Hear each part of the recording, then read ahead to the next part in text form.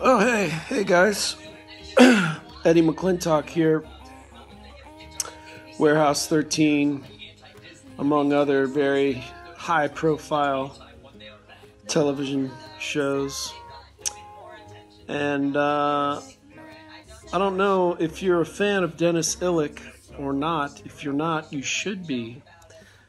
But he's doing this project, Men of Sci Fi. It's a book of his fantastic photography. And, well, I've been asked to be in it, of course. Uh, you know, Dennys is a. He's a genius.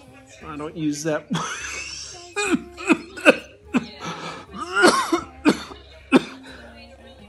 I don't use that word, you know, lightly. Uh, but uh, look, if you want to see this book and you're a fan of photography and sci fi, it's something you should see. Uh, basically, I'm just chilling with a Diet Coke on the couch in my underwear, watching the news, waiting for Dennys to call me and be in his next project. So, Dennys, if you see this,